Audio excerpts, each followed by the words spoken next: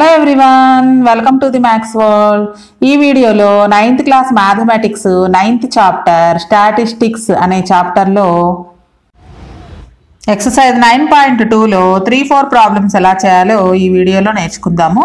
Third problem if the mean of the following frequency distribution is seven point two find the value of K ఈ డేటాకి mean ఎంతో ఇచ్చేశారు seven point two main అయితే మనకి ఫ్రీక్వెన్సీస్లో ఒక నెంబర్ని మిస్ చేసి దాని వాల్యూ కే అని ఇచ్చారు. ఈ వాల్యూ కే వాల్యూ కనుక్కోవాలన్నమాట.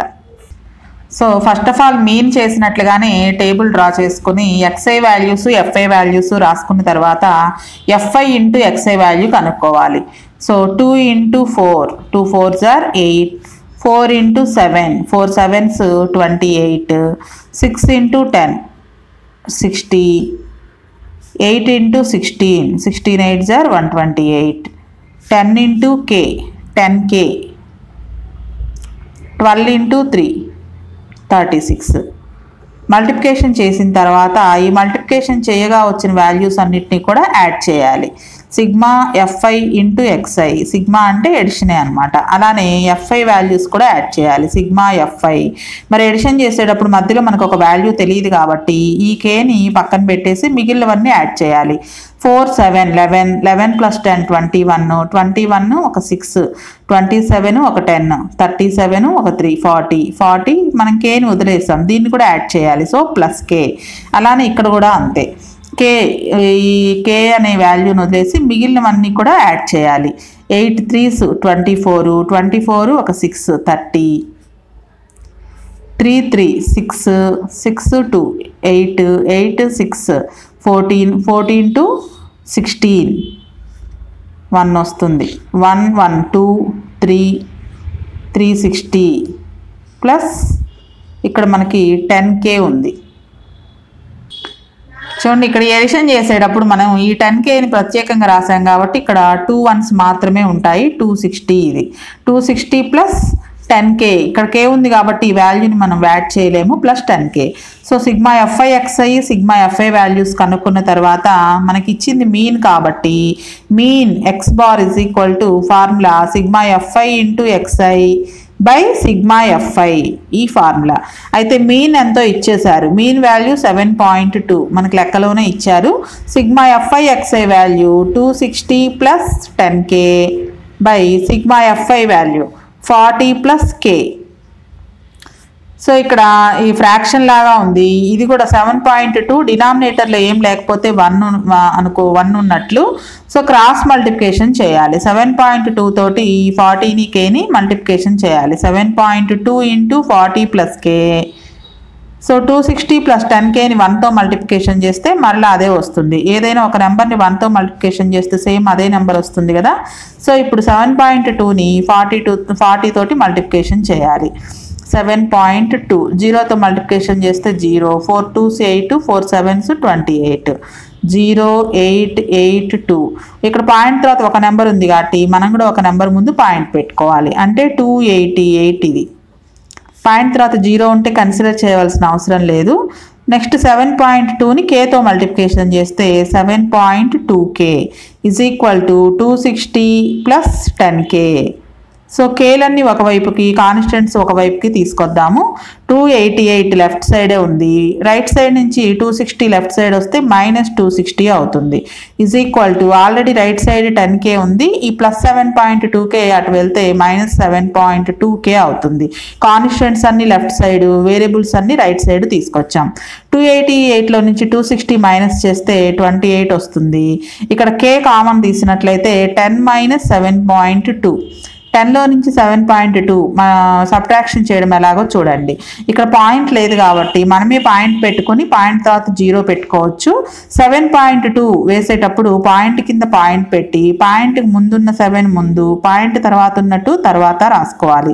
ఈ వేసుకోవడంలోనే ఈ సబ్ట్రాక్షన్ అనేది కరెక్ట్గా వస్తుంది. ఇక్కడ టెన్లో నుంచి టూ మైనస్ చేస్తే ఎయిట్ బారోయింగ్ తెచ్చుకుంటే నైన్లో నుంచి సెవెన్ పోతే టూ మధ్యలో ఉన్న point as it is.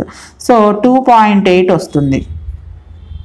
K into two point eight మనకి కే వాల్యూ కావాలి కాబట్టి k into two point eight k ఇక్కడ ఉంచేసి two point eight left side వస్తే బై ఇక్కడ ఇంటూ టూ పాయింట్ ఎయిట్ ఇటు వస్తే బై టూ పాయింట్ ఎయిట్ అవుతుంది ఇజ్ ఈక్వల్ టు కే మరి మనకి డెసిమల్ నెంబర్ ఉన్నప్పుడు ఎలా డివిజన్ చేయాలి? ముందు డెసిమల్ నెంబర్ పోవడం కోసం టెన్తో మల్టిప్లికేషన్ చేసుకోవాలి. అంటే పాయింట్ తర్వాత ఒక నెంబర్ ఉంది కాబట్టి వన్ తర్వాత ఒక జీరో అంటే టెన్తో మల్టిప్లికేషన్ చేస్తే ఈ పాయింట్ పోతుంది. మరి మల్టిప్లికేషన్ చేసేటప్పుడు బోత్ న్యూమరేటర్ అండ్ డినామినేటర్ రెండింటిని మల్టిప్లికేషన్ చేయాలి.